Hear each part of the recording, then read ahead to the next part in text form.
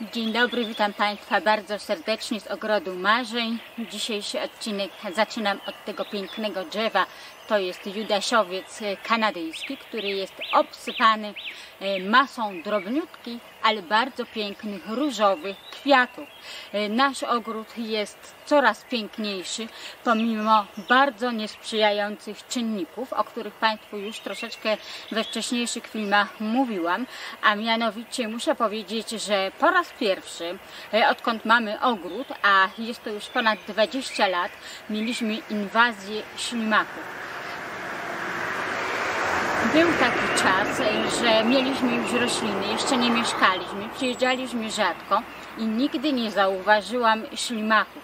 A teraz jest ich tak dużo. Był któryś poranek, ponieważ codziennie, systematycznie od wielu dni e, o poranku wychodzę, żeby zlikwidować ślimaki. Może to drastyczne, nieprzyjemne, ale tak trzeba to zrobić. Nieprzyjemne również z tego powodu, że trzeba to zrobić gołą ręką a poranki są bardzo zimne. Mieliśmy przymrozki, a teraz 2 stopnie na plusie czy 3 to nie jest dużo, zwłaszcza gdy trzeba poświęcić na to czas prawie godzinę. I był taki poranek, gdy wyszłam do ogrodu, w zasięgu wzroku, mojego wzroku, zobaczyłam kilkaset ślimaków, na pewno. Przesunęłam wzrok jeszcze więcej. Opadły mi ręce, opadły mi siły. Myślałam, że nie dam rady, ale wtedy właśnie w takich momentach dzieje się u mnie coś takiego, że wzbiera się u mnie ogromna siła, energia. Ruszyłam na te ślimaki. Zajęło mi to ponad 3 godziny i teraz robię to systematycznie. Dlatego ten rok jest taki niesprzyjający, bo jeszcze ze ślimakami się nie skończyło. Przymrozki też były bardzo dokuczliwe u nas. Glicynia dopiero teraz zaczęła się rozwijać, a ona powinna mieć już pięknie kwitnące kwiaty. Kwiaty jej przemarzły, ale ja wiedziałam, że to się tak stanie, ponieważ w kwietniu e, mieliśmy bardzo wysokie temperatury zarówno w dzień, jak i w nocy. I przyszła jedna noc minus 8 i to było do przewidzenia, że będą jakieś straty w roślinach. I rzeczywiście widać to po roślinach, że one nie rosną tak pięknie, jak zazwyczaj rosły skończyły się troszkę, można tak powiedzieć, problemy ze ślimakami, skończyły się przymrozki, no to pojawiła się już mszyca, czmabuk szpanowa i błąkówki. Na szczęście mszycy i błąkówek dużo nie ma gąsienic, więc ja mechanicznie je zwalczam przez mm, zgniatanie ale zastosowałam już kilka oprysków z sodą oczyszczoną, opryskałam cały ogród, no i czekam, zobaczymy, czy rzeczywiście przyniesie to jakiś efekt. Na razie jest o tyle dobrze, że e, nie ma więcej tej mszy, e, przepraszam, mszyc. I przede wszystkim, co jest najważniejsze, na razie nie widzę czarnej plamistości na liściach róż. A gdy róże o tej porze roku miały już duże liście, mają duże liście, natychmiast już pojawiała się czarna plamistość. E, ja Państwu za chwileczkę, jak będziemy spacerować po ogrodzie, ja Państwu pokażę, jak nie zapomnę, jak wyglądają liście narcyzów po ślimakach, jak wyglądają liście liliowca. E, wydobycie ich z liści liliowca jest bardzo trudne, ponieważ liście są tak ułożone, liść przy liściu, w środku jest dziurka. I w tych dziurkach maleńkich właśnie znajdowałam ślimaki. Widziałam, że one są, żeby czasem go wyciągnąć, gdy jest malutki, no to trzeba by było zniszczyć roślinę, a on sobie tam siedział i zjadał od spodu roślinę. I są to rzeczywiście w ogrodzie dosyć duże zniszczenia po ślimakach. Mam nadzieję, że rośliny odrosną, odbiją, ale w tym roku raczej nie zakwitną. E, zjadły mi przepiękne niebieskie ostróżki. E, uwielbiają jeżówki. Jeszcze nie ma takiego poranka, żebym ja nie znalazła na jeżówkach co najmniej kilka ślimaków. To jest ich jakiś przysmak. Floksy wiechowate, floksy szydlaste, dziki chmiel, ale z dzikiego chmielu to się nawet cieszę, bo jest ich tam dużo i ja bardzo łatwo je dostrzegam, zbieram, więc jest to taki wabik. Ale dobrym wabikiem w ogrodzie, ponieważ tak naprawdę ślimaki są bardzo pożyteczne w przyrodzie. E, One oczyszczają las, oczyszczają ogród z obumarłych resztek zwierząt, roślin. Tylko szkoda, że w tym roku wzięły sobie za bardzo do serca to oczyszczanie z roślin i rzeczywiście pucują nam wszystkie tutaj e, rośliny, które tylko są. E, ale myślę, że uda mi się pokonać te szkodniki i ogród rozkwitnie. Aha, wracając do takiej pułapki. Dobra pułapka właśnie dla ślimaków jest taka, że można skoszoną trawę, jakieś liście albo gałązki położyć przy drzewach. E, Ślimaki tam przyjdą, ponieważ one właśnie oczyszczają e, teren z obumarłych resztek roślin i łatwo je później jest wypatrzeć. Ale dość już tego. Chciałabym Państwu pokazać, jak wygląda ogród, co zakwitło, jakie nowe rośliny tutaj y, są już w kwiatach. Zapraszam więc na piękny majowy spacer, bo pogoda rzeczywiście u nas będzie piękna, niebo bezchmurne, y, po chłodnej nocy będzie na pewno ciepły i słoneczny dzień. Pod Judaszowcem kwitnie tryteleja, piękne, drobne, niebieskie kwiatuszki. One się jeszcze nie wszystkie otworzyły, ponieważ e, otwierają się e, do słońca. E, Więc jak pierwsze promienie się pojawią, zaraz tutaj będą kwitły. I różowe, śliczne kwiaty judaszowca kanadyjskiego. Ja spróbuję złapać tutaj ostrość, bo coś mi to tak za bardzo nie wychodzi. Jest ciemno. O, przepięknie oblepiony różowymi kwiatami gałązki, a nawet te starsze gałązki. No wygląda naprawdę drzewko bardzo ślicznie. Smagliczka wulfena wciąż jeszcze przepięknie kwitnie na żółto. Pytała mnie któraś z pań, y, czy lagerstroemia wypuszcza już liście. Y, Tak, już tutaj widać, y, zaczęły się te liście pojawiać na razie maleńkie, ale ona tak zawsze troszeczkę później y, zaczyna wegetację, a trzeba też pamiętać, nie wiem jak u Państwa, ale u nas y, no poranki były mroźne, zimne, więc te rośliny troszeczkę mają y, jakby spowolniony wzrost. Na skalniaku wciąż kolorowo kwitną jeszcze floksy szydlaste, skalnice, żagwiny i zawciąg bardzo piękny. Różowe kwiaty, kuliste, śliczne. Może nieduża roślinka, taka kępiasta, ale jakże bardzo urokliwa. A tutaj e, ogród japoński. Jeszcze kwitnie pięknie wiśnia kanzan, ale jej kwiaty zrobiły się już bledsze i pewnie e, niedługo będą leciały śliczne różowe płatki. Azalii. Azalia biała koło posążka Buddy jeszcze, jeszcze nie kwitnie ale kwitnie już azalia o takich bardzo czerwonych, pięknych kwiatach. Ślicznie y, wyglądają azalie. To są te, które zrzucają y, liście na y, zimę. Mamy ich tutaj kilka różnych odmian, ale jeszcze też nie wszystkie kwitną. Fioletowe już przekwitają, bo one zaczynają kwitnąć jako pierwsze.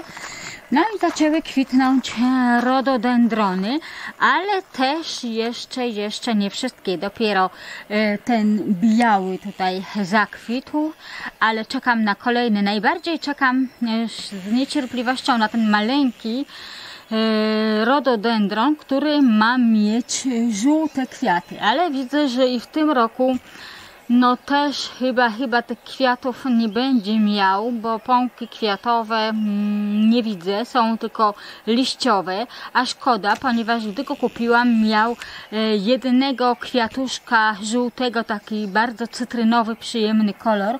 I byłam ciekawa, czy właśnie zakwitnie rzeczywiście na żółto, no ale nic, no to czekam do następnego roku, podejdę bliżej, może rzeczywiście wypatrzę jeszcze jakiś tutaj kwiat No niestety sądząc po tych pąkach i patrząc to niestety, ale będą wszystkie raczej liściowe. No trudno. więc będę czekała do następnego roku. Ten wygląda bardzo pięknie, gdy są pąki, są one takie zaróżowione, gdy kwiaty rozkwitają, robią się białe, śliczne. Kwitną już kokoryczki, jeszcze kwiaty nie są w pełni kwitnienia. Je również muszę pilnować, ponieważ uwielbiają je ślimaki.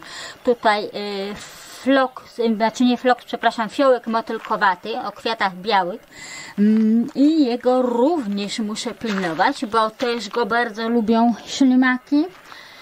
No ślimaki czego nie lubią, wszystko lubią ostrokrzew, a tutaj e, rzeczywiście tego chyba nie lubią, bo ma ostre kolce i to jest chyba jedyna roślina, której nie tykają, a tak to wszystko e, potrafią zniszczyć. Nawet hortensje, na hortensjach też widziałam, na tujak też widziałam.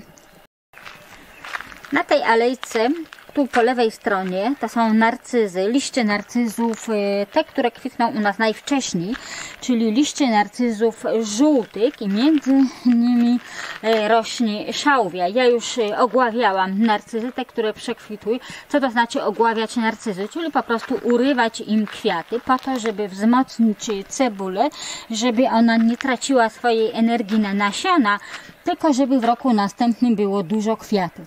Jak wyglądają liście, miałam Państwu pokazać, jak wyglądają liście po ślimakach. Proszę spojrzeć, one e, są, e, łamią się, ponieważ są tutaj nadgryzione. Zazwyczaj jest to tak, o, tak to wygląda, że jest to po prostu dziura. Wówczas takie liście później żółkną, chorują. E, one wprawdzie teraz będą zasychały, ale to nie znaczy, że ślimaki mają je zniszczyć. Proszę zobaczyć, tak to nie wygląda. No jedzą wszystko. To jest y, ogromna plaga, ogromna moja praca, konsekwencja, ponieważ trzeba to codziennie o tym myśleć, o świcie o 5 godzinie wyruszać i po prostu likwidować. Nie ma się co obrażać. Gdybym taką ilość ślimaków zostawiła, to nie tylko, że ja nie miałabym nic z ogrodu, ale one ruszyłyby dalej, rozmnożyłyby się i niszczyłyby wszystko, co napotkają po drodze. Y, pałecznik chiński wypuszcza liście y, troszkę późno, no ale cóż, noce mamy zimne, były przymrozki, ten boczny pęd widzę, że chyba przemarzł, na razie jeszcze nie wycinam, jeszcze poczekam e, i czy będzie kwitł tak jak w roku ubiegłym, nie wiem, bo w ubiegłym roku po raz pierwszy zobaczyliśmy jego kwiaty. E, wprawdzie nie zawiązał tych swoich ciekawych, pięknych strąków, na które czekaliśmy. Jak będzie w tym roku będę Państwu pokazywała. Tutaj ma posadzone ciemirniki, szafirki. Też Państwu te szafirki pokazywałam. Agapanty e, już rosną zdecydowanie lepiej teraz w donicach, zwłaszcza te niebieskie, które były w takich warunkach bardziej cieplarnianych. Tam po lewej stronie widzą Państwo e, floksy szydlaste i hortensje. Ja w ubiegłym roku pokazywałam na filmie, jak odmładzam rabatkę e, z floksami szydlastymi. Proszę zobaczyć, jak to teraz wygląda. Jest już tutaj gęsto, jest zarośnięte pięknie. Tutaj trawy nie koszę. Dlaczego? Dlatego, że e, rosły w trawie krokusy i muszę poczekać, aż e, krokusy będą miały zasnięte liście i wówczas będę mogła przystąpić do e, sadzenia, mm, przepraszam, do koszenia trawnika. Tutaj również są agapanty, też rosną pięknie. Ten jeden niebieski, on był taki najbardziej taki mizerny to znaczy nie mizerny, po prostu opadł, ale też widzę, że już e, ładnie się tutaj e, pozbierał. A poranku przepięknie jest tutaj gra światła i cienia. E, między drzewami, krzewami przenikają promienie słońca. Bardzo też lubię ogród o takiej porze. Lubię, gdy jest przym, taki przymglony o poranku, wieczorem, ale lubię też grę światła i cienia. Tutaj są liliowce. Te liliowce bardziej po prawej stronie są ładniejsze. Natomiast tutaj chciałam Państwu pokazać, jak wyglądają liliowce po przejściu ślimaków. Y, to wygląda tak, że praktycznie nie ma liści, a to, co wyrasta, jest, jak Państwo widzą, takie nadgryzione. To akurat jest chwast, to nie. Y, jest nadgryziony, zdeformowany. Liście robią się żółte. Proszę zobaczyć. O, tutaj jest ile brakujących. I ślimaki najczęściej właśnie y, siedzą między liśćmi, bardzo ciężko jest je wydobyć i właśnie powodują coś takiego, że liść y, trzyma się tylko na jednej maleńkiej niteczce. I tutaj jest dokładnie to samo, a więc to nie jest wcale e, takie ani zabawne, ani śmieszne, jak ktoś powie, żeby e, nie zwalczać ślimaków, bo natura sobie mm, poradzi. Natura sobie poradzi, jak jest może niewiele tych szkodników, ale jak jest dużo, natura sobie nie poradzi. One po prostu zniszczą. I to, co zniszczą na łąkach, w lasach, to tak naprawdę my tego wcale nie widzimy. Jak jest zniszczone, to jest zniszczone, jak rośnie, to rośnie. E, w ogrodzie trzeba po prostu je likwidować. I są tylko i wyłącznie dwa sposoby y, na likwidację ślimaków. Mechaniczny od razu albo chemia, ale chemia jest szkodliwa i trzeba rozważyć, co kto może zastosować. Ja wybrałam opcję pierwszą, mechaniczną, dlatego y, poranki, wieczory spędzam w ogrodzie.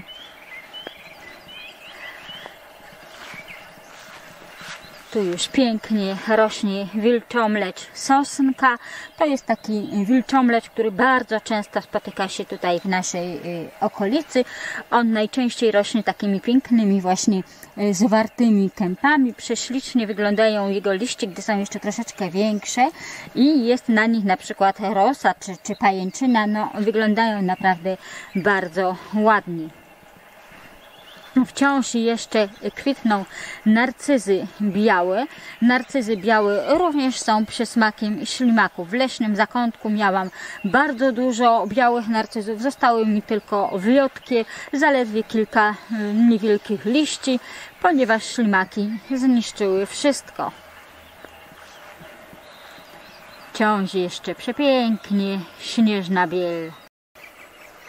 Miesięcznica rośnie tutaj wyjątkowo pięknie, wyjątkowo dorodnie, ale też muszę ją pilnować przed ślimakami i bardzo bym chciała, aby właśnie tutaj e, razem z liliowcami e, było jej dużo i e, z goździkami kamiennymi, czyli goździkami brodatymi.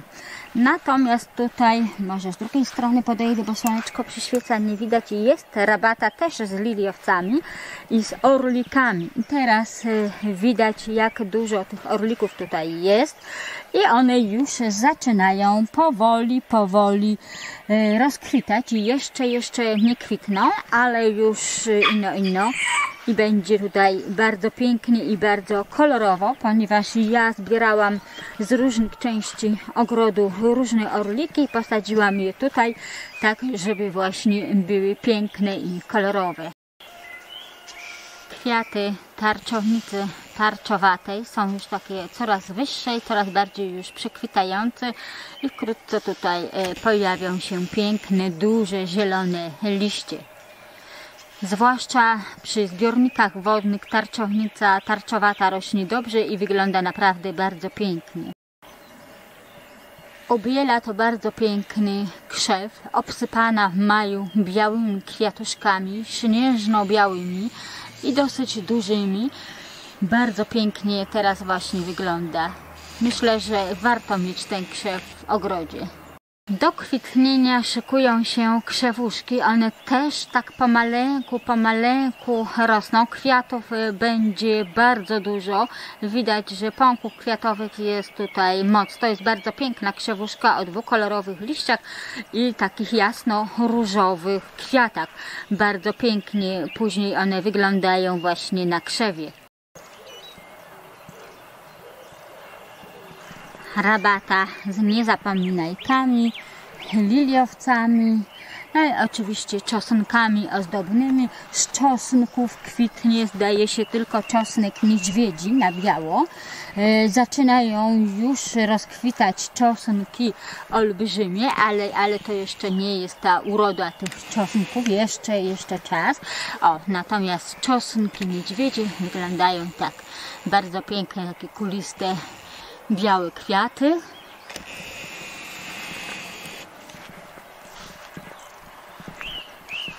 I z tych czosnków, które ja zakupiłam, tam bułgarskie, żółte, różne, jeszcze na razie widzę, że nic nie zakwitło. Tutaj zrobił się naprawdę prawdziwy łan niezapominajek. Jest to taka długa rabata i jest tych niezapominajek e, dużo, są piękne. Gdy przekwitną, bardzo szybko robią się czarne, dlatego będę chciała tutaj posadzić koleusy. Koleusy te, które mam z nasion, wyhodowane rozsady. Na razie jeszcze, jeszcze nie sadzę, ponieważ niezapominajki są piękne. Jeszcze nie obchodziliśmy święta polskiej niezapominajki, więc y, jeszcze tutaj koleusy nie posadziłam, natomiast posadziłam te, które miałam y, w donicach. Mm, Na razie może nie wyglądają zachęcająco pięknie, ponieważ y, troszeczkę zareagowały, gdy przeniosłam je z domu na zewnątrz, tak jakby troszeczkę opadły im liście, ale widzę, że już, już, już tutaj wzięły się w garść i już rosną lepiej. Kwitną bodziszki żałobne, to są bardzo fajne bodziszki, takie trochę chwastowate, można je na dziko y, zobaczyć w różnych miejscach. Y, Dla mnie są one ważne, ponieważ przypominają mi dzieciństwo na wsi. Był taki stary budynek, pod tym budynkiem była skarpa. Na tej skarpie właśnie w maju przepięknie rosły same takie fioletowe, ciemnofioletowe y, bodziszki tutaj do słońca, więc są troszeczkę y, widać tak jak były jaśniejsze, ale one mają taki ciemny fiolet. No, jak sama nazwa wskazuje, bodziszek żałobny, y, bardzo piękne, ja je lubię i też pilnuję, żeby mi tak wszędzie w ogrodzie się nie wysiewały, ale pozwalam w dwóch miejscach, mam ich nawet dosyć dużo. Szafirki odmiana Fantasy Creation wyglądają prześlicznie, wciąż jeszcze kwitną. Mają naprawdę e, bardzo śmieszny, bardzo nietypowy kształt, jak e, na szafirki. Tutaj przesunę, bo drzwi troszeczkę nam zasłaniają. O, o, o, o, o, o.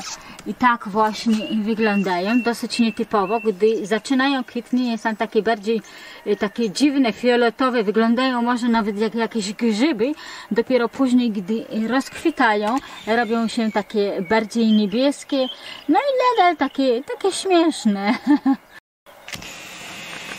Maki wschodnie w pąkach, one już też powinny w maju lada chwila zacząć tutaj e, kwitnienie, ale, ale, ale na razie jeszcze nie rozkwitają. Jestem bardzo ciekawa kolorów, ponieważ te chyba powinny być czerwone, ale miałam też jasno-różowe i ciemno-różowe na tamtej rabacie, więc em, zobaczymy jak to wszystko będzie tutaj kwitło. Jak zakwitną, to będzie można powiedzieć jakie tutaj te kolory tak naprawdę są.